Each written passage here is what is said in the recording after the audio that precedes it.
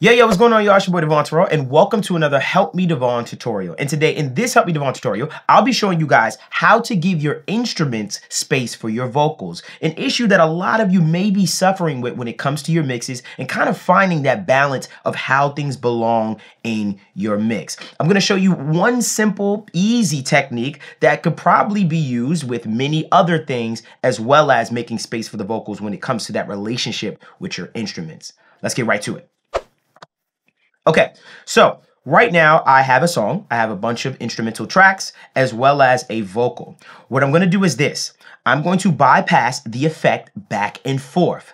As I'm passing it back and forth, as far as the effect is concerned, this one trick that I have, I want you to pay attention between the relationship of the vocals and the instruments, okay? I want you to listen to the clarity and the vocal presence as well as its relationship uh, with the instruments as I'm bypassing it back and forth. Listen close without first. Another one just to cover up all the feelings I had. Cause you were one of them, perfectly above everyone in my past. So, baby, please don't look over me, cause I don't wanna go back. I'm only looking for one chance with you.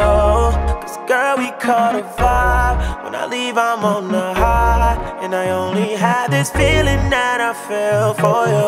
Yeah. So, please don't pass me by take you for a ride. Only have this feeling that I feel for you. Okay, so if you listen to that very, very closely, and please use headphones or studio monitors or something like that so you can really hear this difference, you're noticing that within the relationship of the vocal and the instruments that you're getting less frequency masking. Now, before we go any further, I'm going to ask you guys to comment, like, and subscribe. It would help us so much.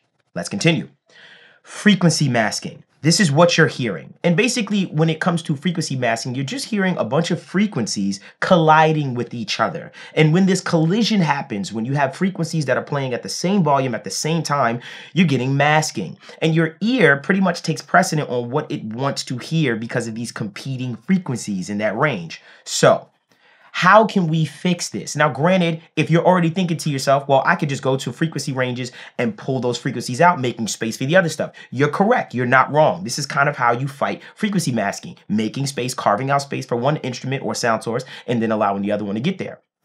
But what if I told you there was a super easy way from an analyzer standpoint to pinpoint frequencies that are colliding with each other in your mix? Let me show you what I'm talking about. So right now what we're going to do is we're going to come on over to the FabFilter Pro Q3, one of my favorite EQs, of course, next to the HMD Rosetta EQ, available at helpmedevvon.com. And there's a really cool feature in here, if you didn't know, where basically it's called a collision feature. So basically this is how you set it up. If you notice right here, this is all my music. I basically took all my music, which you can see right here, main loop, piano, piano two, and I routed them to a bus. So it's in a bus right here. So all my music is coming to this bus. I'm going to press play and I want you to see what's going on. Call another one just to cover up all the feelings I had. Cause you were one of them, perfectly above everyone in my past. So now, two things you notice. You saw red spots that were very highlighted, and you also saw another play, uh, sound source being analyzed. What you were seeing was you were seeing the vocal being analyzed, the instruments that were coming into the music bus being analyzed, and then you were seeing with the red spots, the frequencies between them that were colliding. This is an amazing technique feature inside of Pro Q3, you may know, may have known or not, that allows you to see those colliding frequencies and thus you can actually attack them easy just by seeing them on the actual spectrum. I'm going to show you my technique as far as how I go about it and how it really does make a difference when it comes to colliding frequencies with everything that um, I'm trying to clear up in my mix. Okay, so long story short, this is how I set it up. Long story short, I go to my vocals. So right here is where my vocals coming in. As you can see, this track says vocal bus, and I put a Pro Q3 on. Nothing going on on this Pro Q3. I just have it on. Basically, you need to actually put a Pro Q3 on whatever the track is so that it'll see it in the other Pro Q3 uh, that you put on. So you'll see it in this vocal bus. I put a Pro Q3 on here, and then I put a Pro Q3 on my music bus as well. So I have my Pro Q3 on two places. Now what I'm gonna do is I'm gonna go over here to Analyzer, And you can see that the analyzer already has the vocal bus right there for me. So when I click it, it'll then start to show it in the actual analyzer. Thus, what you see when I press play. Watch this.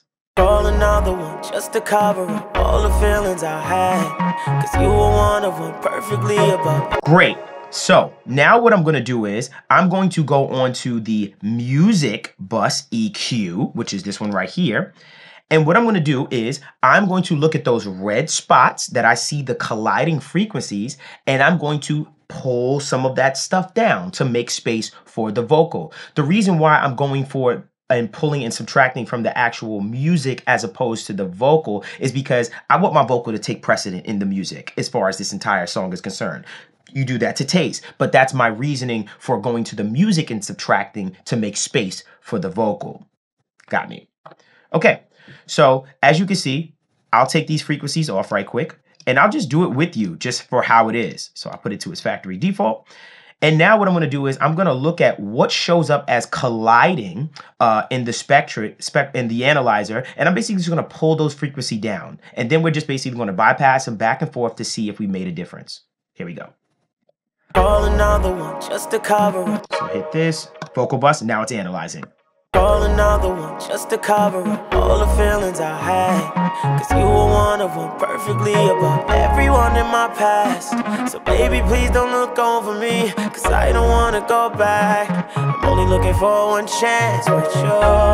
Cause girl, we caught a vibe. When I leave, I'm on the high. And I only had this feeling that I feel for you. So please don't pass me by I wanna take you for a ride. Only had this Okay, cool. Now let's bypass this back and forth. And I just want you to know I was using my ears and I was listening and I was like, ooh, it's getting clearer. I can feel it kind of the vocal was getting clearer. That's really what I was listening for. It was as I was backing off of those collision frequencies, I was noticing the vocal was just getting more pronounced. Like I was like, oh, there's more clarity in that vocal. Now let's bypass this back and forth and see if we did anything. Without first, Call another one just to cover up all the feelings I had. Cause you were one of them perfectly above everyone in my past. So, baby, please don't look over me. Cause I don't wanna go back. I'm only looking for one chance with you. Cause, girl, we caught a vibe. Leave, I'm on the high. And I only had this feeling that I feel for you. In that one, I can tell the vocal just feels more clear. Feels like it's in its own space. It feels like the music music is playing and the vocal is has its own space. Now, you could use this uh, with so many different things. Use your imagination with this. Uh, when it comes to even bass instruments, as far as getting that relationship between the kick and the bass to be more uh, uh, uh isolated, you can use it for this too. Now, what they have suggested with the Fab Filter Pro Q3 is that you throw the analyzer in a high resolution so that it can detect that low end stuff a little bit better. If I'm not mistaken, that's one of the things that uh, was a tip for it. You can use this for so many things. When it comes to relationships, if you're having issues fighting in your mix with the relationships between certain instruments and vocals or just instruments in general, you can come on over here to the FabFilter Pro Q3. You could throw in an analyzer with this technique I showed you and see exactly what frequencies are actually colliding with each other that are causing frequency masking, that are making it feel weaker, quieter, and just covered in your mix. So I hope that that was helpful. Uh, make sure you follow us at Help Me Devvon on Instagram. Make sure you comment, like, and subscribe. That would help so much. Also, make you make sure you follow us at Help Me Devvon on Instagram. Make sure you also listening to my Audio Nerds podcast every single Thursday. Um, excuse me, Wednesday. And then also make sure you follow us on the Discord with a bunch of aspiring engineers like yourself. I really hope that was helpful. And until next time. Also, make sure you go grab that HMD Rosetta EQ.